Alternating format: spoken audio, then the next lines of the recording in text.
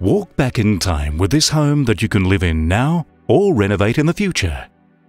Positioned on a 483 square metre block offering three bedrooms, formal dining room with the kitchen leading out to the secure and blank canvas backyard, in a surprisingly quiet cul-de-sac and positioned within a short walk to public transport, Ithaca Pool, local schools, Barracks Shopping Complex and Suncorp Stadium.